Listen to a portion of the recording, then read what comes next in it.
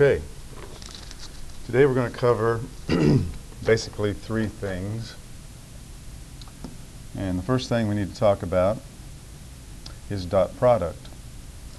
When you have a vector 1 times vector 2, it equals x sub 1 times x sub 2 plus y sub 1 times y sub 2. So let's do an example here. Let's say we have vector u equals 3, negative 6. By the way, this notation, it looks different, is because this represents the vector at the origin. Vector v equals 4 comma 2 and we want to do the dot product. So we will take, as it says here, vectors v use x sub 1 times vector v x sub 2. So we have 3 times 4. Then we will take negative 6 times 2 for y sub 1 times y sub 2. Negative 6 times 2. Now when you do this, you will see that we end up with a dot product of 0. Now something we need to do, which is in uh, the same uh, lesson today, is perpendicular vectors. When this happens with a dot product, then we know these two vectors, u and v, are perpendicular. And of course we know that means that they form a 90 degree angle. So this is true for all uh, pairs of vectors that have a dot product of 0. Now the next thing we need to look at, let's erase this. The next thing we need to look at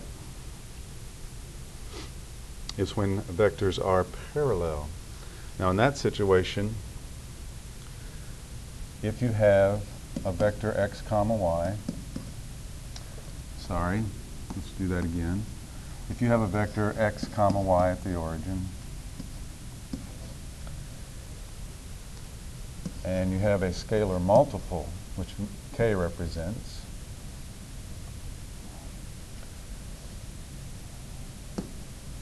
times the vector xy, that scalar multiple is always parallel. So if you can multiply or divide one vector and get the other by, a, by the same number with the x and y, then that tells you that those two vectors are parallel. Now with that in mind, let's look at some examples. Suppose we have vector w equals negative 12, negative 6. Vector x equals 6 comma 3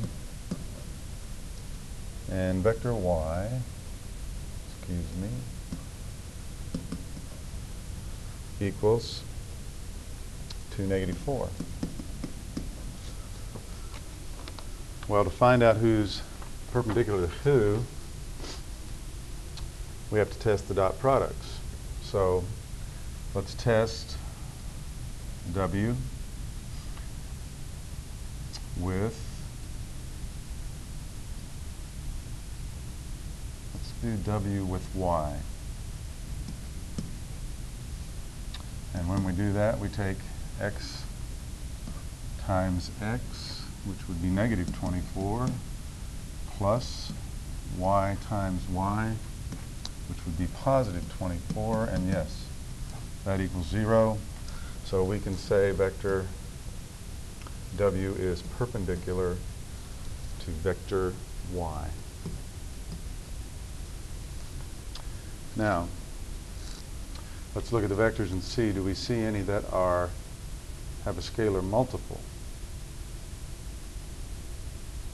Do any of these? Yes, I do see one. If you take x,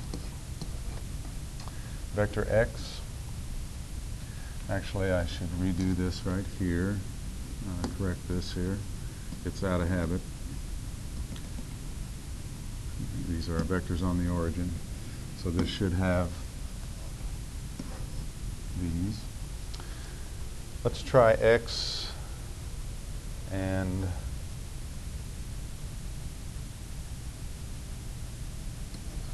w. Now, what do you notice about this?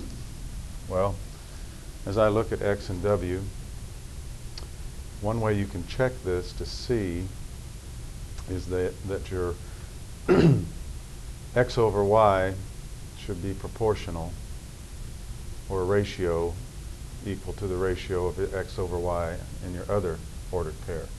So we would have negative 6 over negative 12 for x, or for w, and for x we have 3 over 6. Now if these are equal, then that means they are proportional, which we can tell by cross multiplying, or you're just reducing. We see they both equal 1 half, or if you cross multiply, you see 36 equals 36. So since they have that relationship, and we know those vectors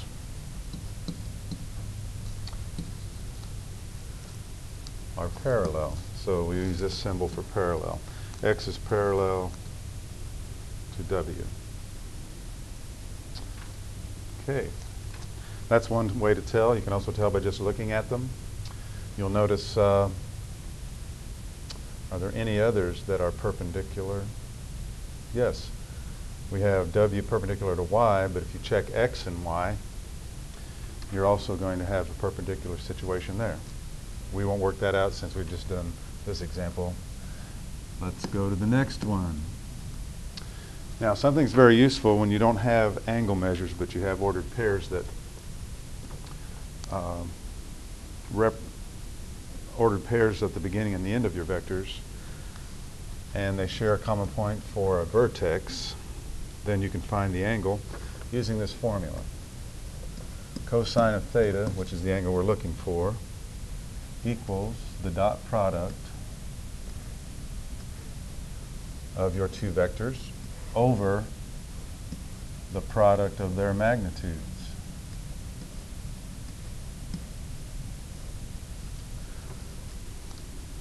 So, now we know that the magnitude, if your vector is x comma y, and again, this is a habit, so I need to redo this. If you have a vector x comma y, then you find its magnitude by taking the square root of x squared plus y squared, which we found out and realized that that's actually using the Pythagorean theorem because every time you have a vector, its horizontal and vertical components form a right triangle. And x is hor excuse me, yeah, x is horizontal, y is vertical. So that always forms a 90 which also forms a right triangle, which also means we can always find that hypotenuse, which represents the vector, the resultant, by taking the square root of x squared plus y squared. Okay, let's do this with two vectors here. Let's say we have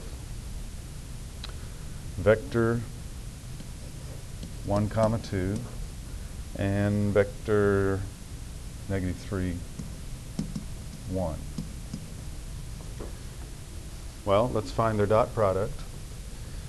So cosine of theta equals their dot product is going to be 1 times negative 3 plus 2 times 1. And on the bottom, we're going to find their two magnitudes. Let's do this right above them here where we have some room. That means we'd have 1 squared plus 2 squared here, which would be square root of 5. Here you're going to have the square root of negative 3 squared plus 1 squared, which is square root of 10. Now if we put that down here, we have the square root of 5 magnitude of vector u times the square root of 10 magnitude of vector v and let's see what we get. Negative 1 over square root of 50.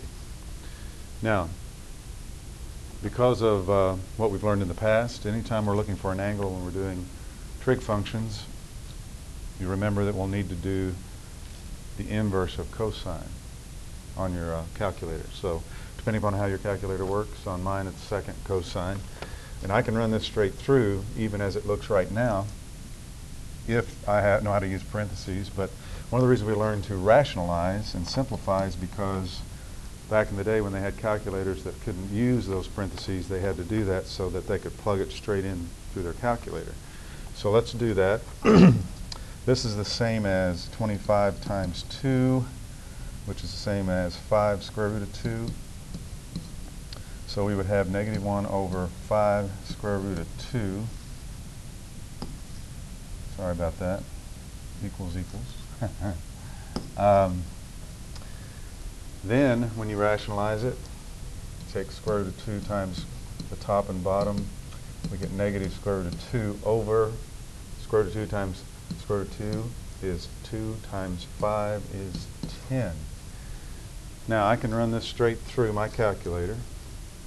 And we'll put this right up here. We'll take the cosine inverse of negative square root of 2 over 10. And when you do that, at least in my calculator, I can run it through, put 2 in, hit the square root button, put a negative on it, divide by 10, and then hit second cosine. And in this case, if you do it correctly, the angle, or theta, in this case, will equal 98.1 degrees. And that's the formula you use, this formula right here. You can use that formula to find angles when you're given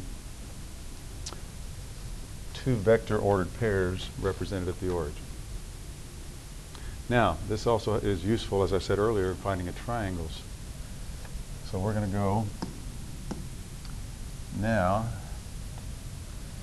and bring up a triangle that we can use. There we go. And we need to come back to this. Now, you'll notice in this situation we're given a triangle with these ordered pairs. Now, it's very important that you realize these are ordered pairs. So they're not vectors represented at the origin. So we must find, first of all, the unit vector or the vector at the origin so that we can use the formula that we just talked about. So let's just start with finding angle R. If we have angle R is what we're looking for. First you go where R is, which is right here, and you draw your vectors that form that. R is going to be your vertex. So there is the vector that forms that side, and there is the vector that forms that side. Now that I know the two vectors that form that angle, I'm looking for this. Remember we found the ordered pair for uh, that represents the vector at the origin by subtracting in reverse. Vectors are directed, so we have to think about that. So we're going to take in reverse 4 minus a negative 2. So in that case, we would say that vector RQ equals the ordered pair the, from the origin that represents the vector. We would take 4 minus a negative 2, which is 6. And then we will take the y minus the y, subtracting backwards, 7 minus 4 is 3. So there's one of the vectors as it's represented at the origin. The other one is R, as we drew it here, RP. So vector RP, its ordered pair is going to be represented also by something we'll have to subtract backwards again. So to do that, we would take 2 minus a negative 2, which is 4, and subtract the y's. We take 1 minus 4, which is negative 3. Now, as you remember in the recent, uh, just in the past example we just did, this is all we need to find an angle between two vectors. So now we just apply that formula. So let's go back, excuse me, to a page we can do this on and have plenty of room. But remember we're finding angle R. That's what we want to find. So we're doing these two vector ordered pairs, 6, 3, and 4, negative 3. Now you notice, remember, we said these are labeled RQ and vector RP, and that's important. You'll notice the R is here because it's the vertex. Now, as I said in the formula, let's do the dot product. So to find the angle, we have cosine of theta equals 6 times 4 plus 3 times negative 3. Remember it's x times x plus y times y. Then we do their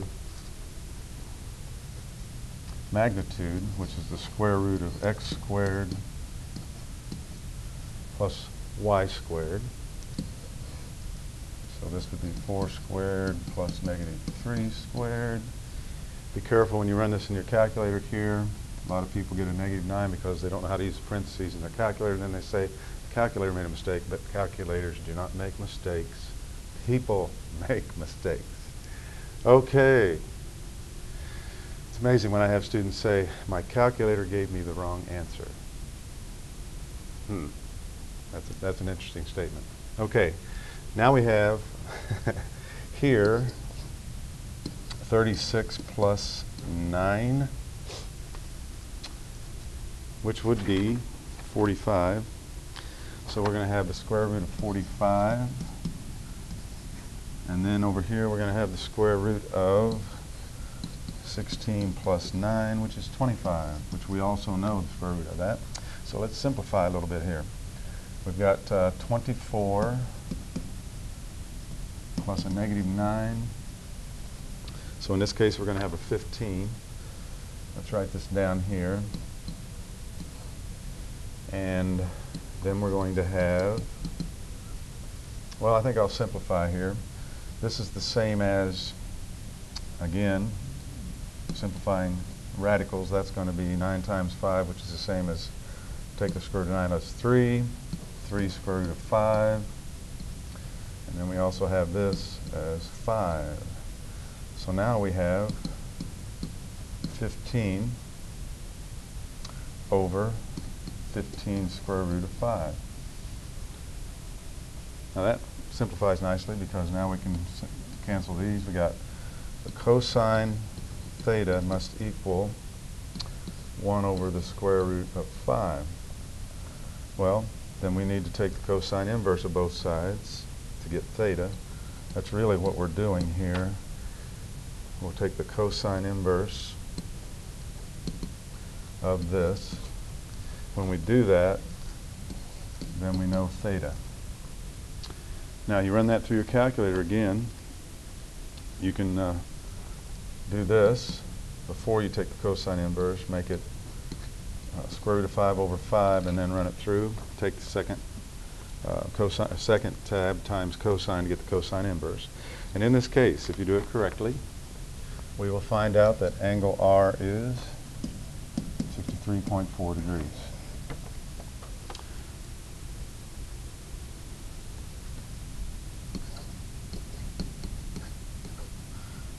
Now, this procedure would be the same on every uh, angle of your triangle. Let's go back to that so we can see something here.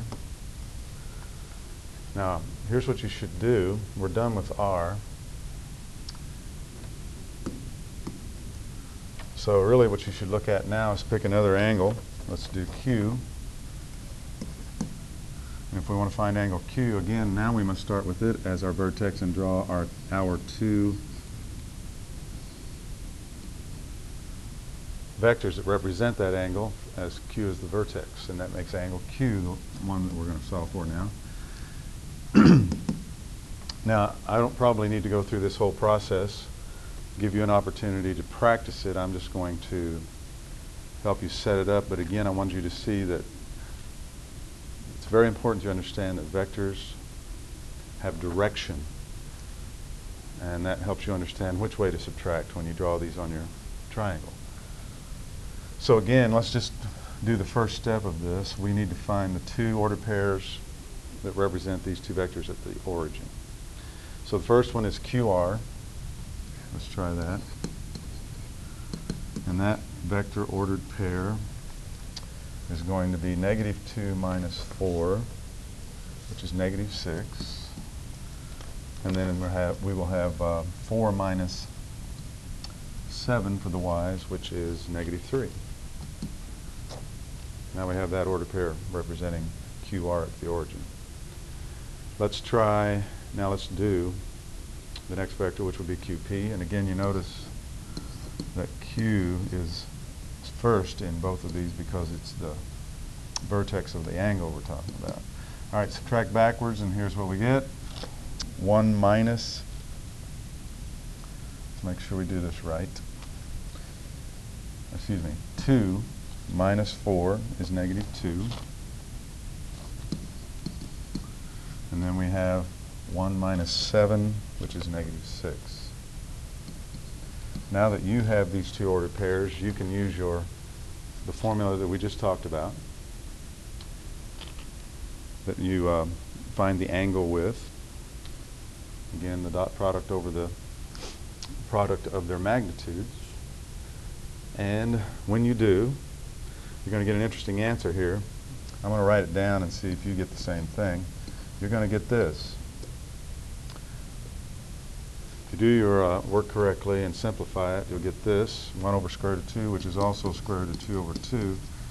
And you should recognize that from as a special triangle, not even, you shouldn't even have to run this through your calculator. If you know that the cosine of the angle equals this, then the cosine inverse of that would have to be from that 45-45 special triangle. So we know that that's going to be true. Now it'd be good for you to practice and, and get that first on your own to make sure you understand how to use that formula. Now, because of our geometry, we don't have to use the formula to find the third angle. Right now we have Q as 45 degrees. We have angle R 63.4. And then we also have a third angle, P. So we found these two. Now we need to find P. But from geometry, we know that we can add these two angles together, subtract from 180, and get the third angle. So you don't have to do this work if you don't want to. If you want to test it, see if it's going to give you the same thing, and then subtract uh, from 180, that might be a good way, just to make sure your answer's right. But we will find that when we add them and then subtract from 180, angle P will be 71.6 degrees. Now, that's how you find angles of a triangle when you know their ordered pairs using vectors and trigonometry.